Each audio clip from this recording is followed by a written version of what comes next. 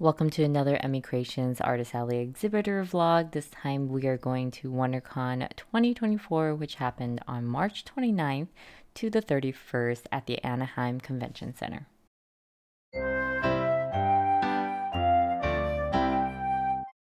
Hello, welcome to another Artist Alley exhibitor vlog. This time we are going to WonderCon, which is happening this weekend. And I have a surprise for everybody who is going. I am doing a new display because it's local and I can drive there and they have great freight, free freight. Um, so I will be in the exhibitor hall right next to Artist Alley. I think the booth number is like 2123 and this will be the backdrop. There's like a cute little overhang right here, which is MacGyvered on basically. And then I have these doggy hangers that I got a long time ago. And I have some shirts left that will be on discount there. It's like $10 there. And like how it's put together is actually really funny. These are uh, my old sticker book display. So it just props the banner up. And I do have some lights because with the overhang, I was afraid it's going to get too dark. So there's three lights in total.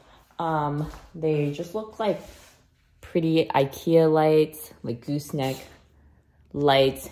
And it's relatively a soft light and it just makes the designs pop out more in the booth. Hopefully pop out more. So excited to do that. My husband is actually coming to help because this is the first time I'm doing such a relatively large display and there's gonna be flooring and there's gonna be um, other fun stuff. So excited for you guys to check that out either at the show or in the vlog here. We did it. We managed to fit everything in the car. So here's the backdrop display that you saw me using for the um, doggy background. And I have some shirts. This is my shirt rack. This is the flooring, the black bag. And then I have a few suitcases with all the merch. So I think three suitcases in total. This is actually mostly displays and then merch and then merch back there and then merch down here. And yeah, so excited. We fit everything and we are ready to go to set up tomorrow. Good morning. We are heading to WonderCon to set up and we're basically going to the free freight. So they open at 9 and I think it goes until 7 p.m. today. So we have a lot of time, but I'm going early to hopefully get it done early. So I'll see you there.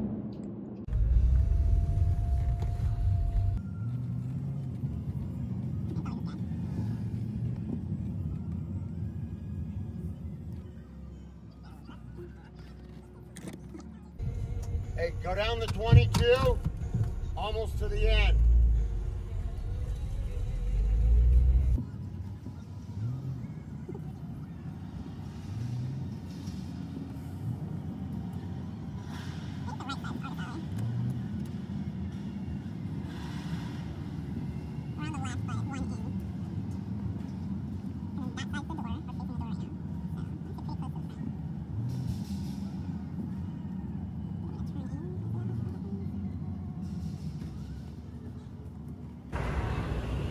All right, so here's the booth. We just got everything and then we have flooring um, put in so we can put stuff on top of it. But look at the flooring. It's actually just foam. Um, so yeah, it's like the squishy foam, children's play yards and stuff like that. Yeah, gonna get set up now, but here's the before. We are in the parking lot now. Um, just parked the car and then we're gonna go finish setup, dropped everything off at the booth all right, we're back in. So here's Artist Alley on this side and exhibitor on this side. They actually said you can't set up the Artist Alley until 3 p.m., but I guess they are all done with it. But we're actually one row in. Trying to figure out how I did this at home. I think it's like that.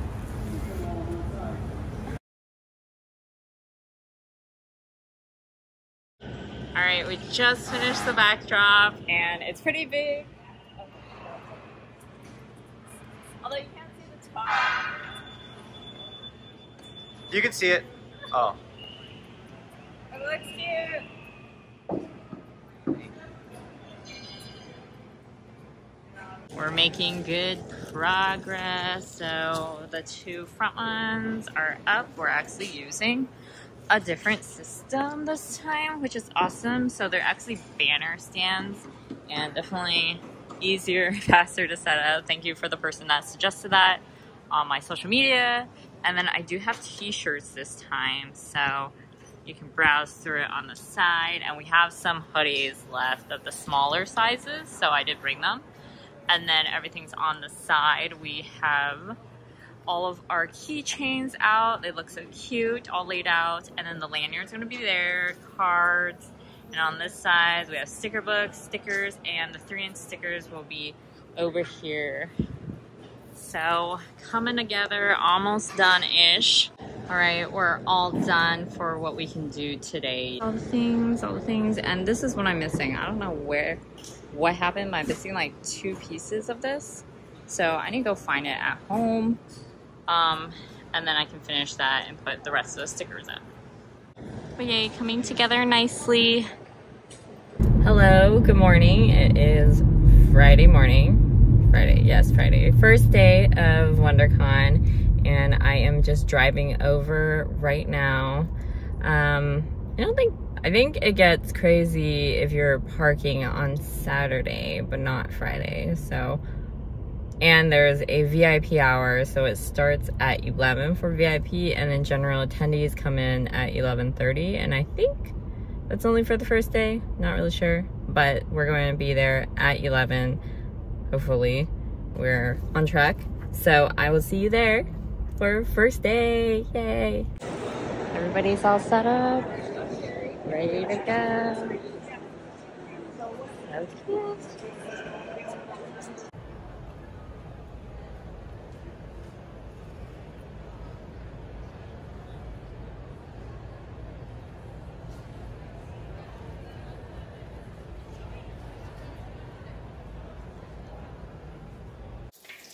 Good morning. It is Saturday morning and I'm actually cooking food since I am at home. There's Horror Boy.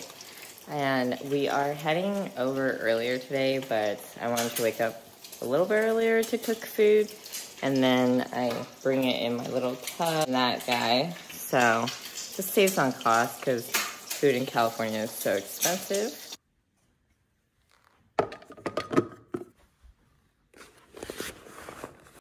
It is 9.30 and here's the entrance crowd. Hopefully there'll be more people as the day, well, as we get closer to 10. So my neighbor helped me film a lovely walkthrough during the busiest time of Saturday, and while they walk around, let's talk about WonderCon. It is located at the Anaheim Convention Center and is organized by the same people who put on the very famous San Diego Comic Con. It's their much smaller sister show con.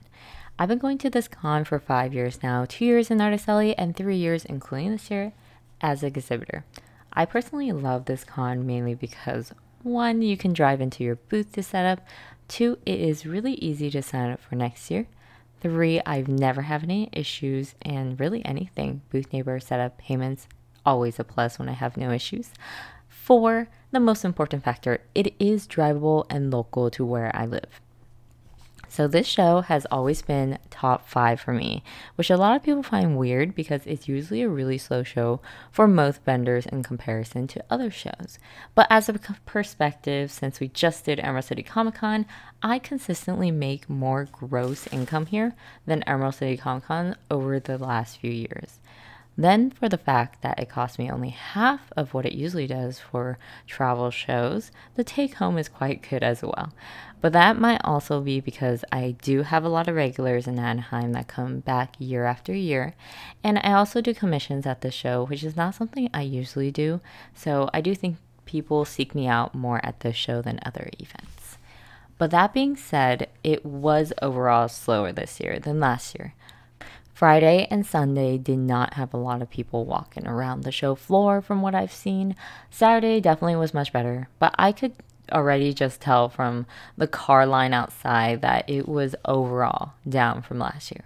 Some people did mention that the actor lineup at the show was not good this year, and I guess the main attraction was the vendor hall, which may have contributed to there being less people willing to come and spend money.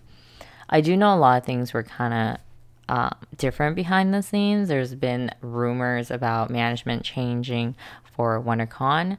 Um, I'm honestly not too sure, and I'm just hoping that for next year it'll be better overall because I did sign up for next year already, already put my deposit in, and I'm excited for it, honestly. But like I said, not everyone finds success here. I think my recommendation is that it is a good, consistent local show, but it may not be a good travel show for most people, mostly if you're not custom traveling. But if you have family in the area and can lower costs, it still might be a good option. Another idea I have is that if you want to make it a trip, since it is across from Disneyland, if you want to do your vacation budget on this one and just do a show on the side. That could be an option too. I've seen people do that quite often. Um, I do know they have a small partnership with Disneyland, so if you do buy a WonderCon ticket, you get a small discount on Disneyland tickets. But I'm personally not sure how much the discount is. Just something to keep in mind. But if you are thinking of attending, just be very aware that they have some different booth options. So they have the usual artist alley, which is a six or eight foot booth table, not booth table. Small press, which is five by ten, but located in the back. So I don't really usually recommend anything that is eight by ten at this show, since they always put them in the back for some reason. And then exhibitors, which covers most of the show floor, but you do locationally want to be closer to the front and entrance for reference. That is the front and towards Artist Alley. Um, I do notice that at this show in particular, position of your booth does matter quite a bit. So definitely keep that in mind if you are interested in going to a future show. And if you are, please let me know in the comments below, or if you have attended this last year or previous years, let me know what you think about it. Let me know your experiences. I love to get the conversation rolling in the comment section, so appreciate that if you do. And I hope you enjoy the rest of the video. Good Sunday morning. I'm heading to the convention center for the last day of WonderCon and not expecting too many people but we'll see because it is Easter Sunday. So I'm not sure if people will come or do like Easter stuff, but um, well, I'm seeing the car line's not too bad, so we will see. Um, but good luck for the last day. And I have, I had to move my booth. Um, not had to, but I requested to move my booth into an empty space. So I'll show you that in a minute. Sunday morning looks very quiet compared to yesterday, which was slightly expected. Alright, now I'm confused why there's actually a lot of people in here because I thought it doesn't open until 10. It's like 9.45. Um, weird. Maybe it's like VIP hour that I didn't know about. Or maybe it's just vendors walking around. Or maybe they let people in early. I don't know. A lot of people are closed, but there's a lot of people in. Not sure why. Okay, so apparently they let people in 15 minutes early, which is weird because most of the vendors aren't here, which means no one is washing our stuff, which I don't like that practice because, I don't know, most of us like cover our tables, but theft is still a thing if we're not around, so yeah, not not liking that, but whatever. Um, yeah, so this is the new corner. Uh, basically, the person that was here did not show up, so we kind of moved over, and this was my old space, and we divided it between me and Q. So I got a corner and a little bit more space, and she got to expand out a little bit. So not too bad of an option. And I did have to ask the um, like event coordinators to make sure that was okay. So usually they do allow it, but they kind of give the person that was supposed to be in the space maybe like half day Saturday to get here. And if they're really not here, then they'll um, make that space available or up for grabs and stuff like that. So yeah, kind of cool. We have a corner now. And hopefully Sunday is good. Hey guys, just finished up WonderCon 2025, officially packed up the booth, everything's in the car, and I am driving over to celebrate pho dinner, so that will be fun. Uh, thank you so much for watching, per usual. Next up, we're probably going to the Torrance Cherry Blossom Festival, so an inside look of how we do outside markets, and I'll definitely link it when it's available. And thank you so much for watching per usual, if you like our content, like, subscribe, click the alert bell, all those things. It really does help the channel grow. And I will see you in the next video. Goodbye.